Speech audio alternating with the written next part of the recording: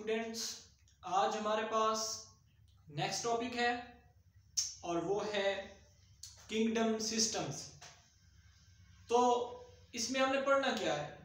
हमने इसमें डिटेल देखनी है कि शुरू शुरू में कौन सी किंगडम्स मौजूद थी, और कौन कौन सा किंगडम सिस्टम किस तरह से मार्ज वजूद में आया या बनाया गया। तो कौन कौन से बियोलॉजिस्ट थे जिन्होंने न्यू किंगडम्स को मुतारफ करवाया? तो आज हम देखेंगे two two five kingdom classification system ठीक है? तो इसमें आज हम पहले नंबर पे जो टॉपिक डिस्कस करेंगे, वो है टू किंगडम सिस्टम दो किंगडम थी ये ये सबसे पहला वो सिस्टम है क्लासिफिकेशन का, जिसके अंदर सिर्फ़ दो और दो किंगडम्स रखी गई थी। एक थी प्लांटी और दूसरी थी एनिमिलिया तो प्लांटी प्लांट में यूक्रियोटिक प्रोक्रियोटिक यूनिसेलुलर और मल्टीसेलुलर वो ऑर्गेनिजम्स रखे गए जो कि ऑटोट्राफिक बिहेवियर शो करते थे having producers and having their own food resources are categorised in plant kingdom ठीक है? सेकंड जो किंगडम थी, वो थी एनिमल किंगडम एनिमल किंगडम तो इसमें यूनिसेलुलर मल्टीसेलुलर प्रोक्रियोटिक और either eukaryotic modern type of organisms are placed in uh, animal kingdom and then after a few years period of time new kingdom was presented known as protista तो biologist थे Ernst Haeckel 1888 में 1888 में, इन्होंने kingdom protista और proto, प्रोटोस्टिस्टा भी बोलते हैं इसे, प्रोटिस्टा आम लफ्जों में। तो इसने ये तीसरी किंगडम मुतारफ करवाई। तो इस किंगडम में कौन से जानदार रखे गए?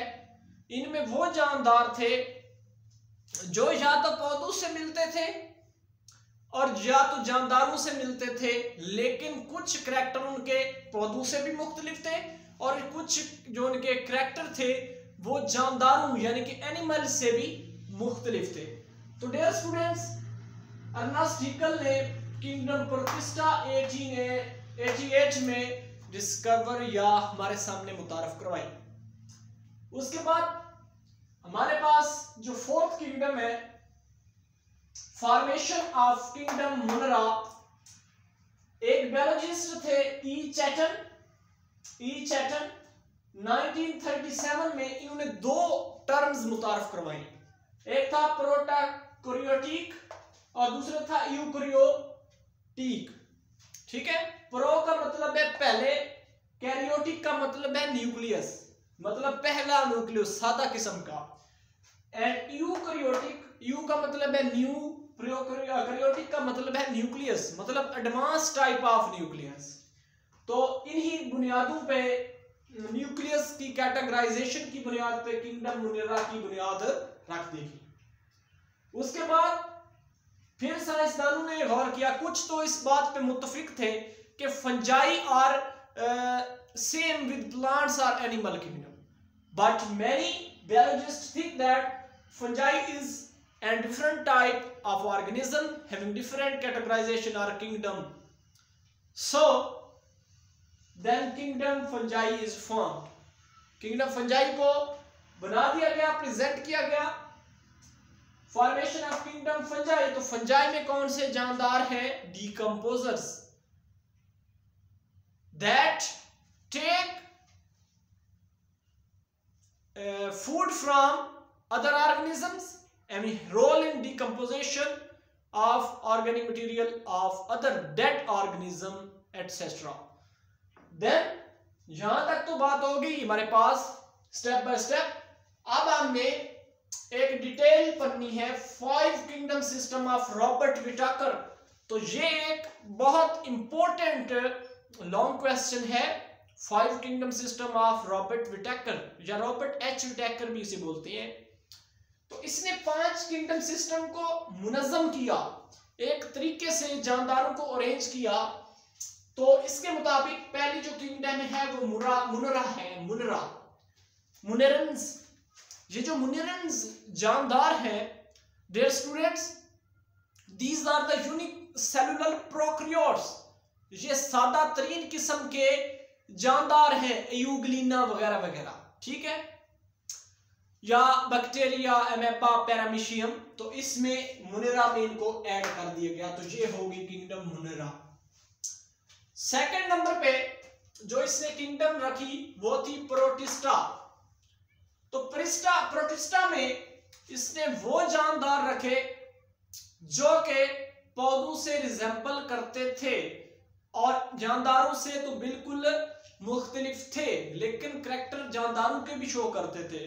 तो इनके अंदर एडवांसमेंट ये थी कि ये दोनों से डिफरेंट भी थे। तो इसमें वो जानदार रखे गए जो पौधों और जानदारों से सेम तो थे, लेकिन उनके करेक्टर मुख्तलिफ़ थे। तो उन्हें प्रोटिस्टा किंगडम में रखा गया। तो इसकी आप एग्ज़ाम्पल ले सकते हैं यूगलीना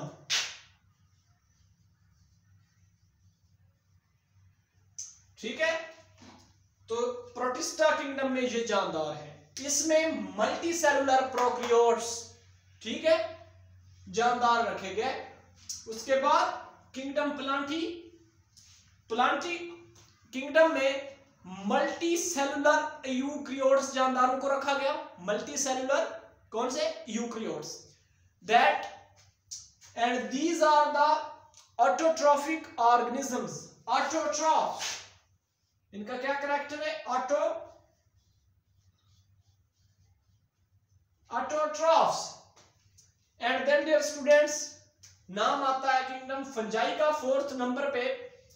तो fungis are fungus organisms are multicellular eukaryotes either prokaryotes are unicellular eukaryotes having role in decomposition of dead bodies of organisms and decomposite and changing to chemical form for their food and storage are known as fungi.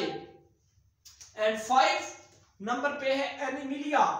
Animals are multicellular eukaryotics well developed organisms having uh, categorizations different levels primary secondary tertiary and by modes of their food takeage. And they don't prepare their own food. They take food from plants having autotrophs ठीक है?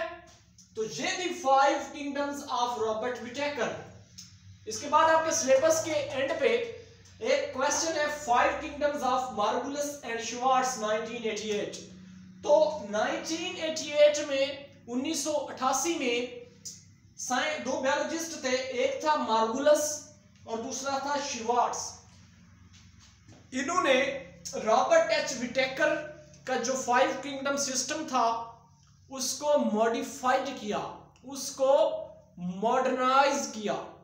ठीक है जी? तो इसके अंदर उन्होंने modification क्या की?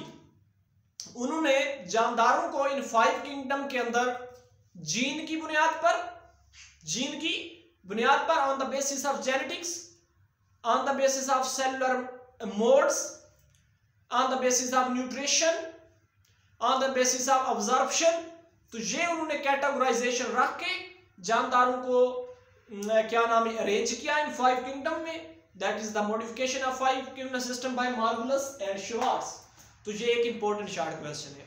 और यहाँ पे लॉन्ग क्वेश्चन कौन सा बनता है? फाइव किंगडम सिस्टम और ये शॉर्ट क्वेश्चन है, जितने भी हमने पढ़े। तो ये था आज का आपका टॉपिक इंशाल्लाह नेक्स्ट मिलेंगे। अल्लाह हाफिज़।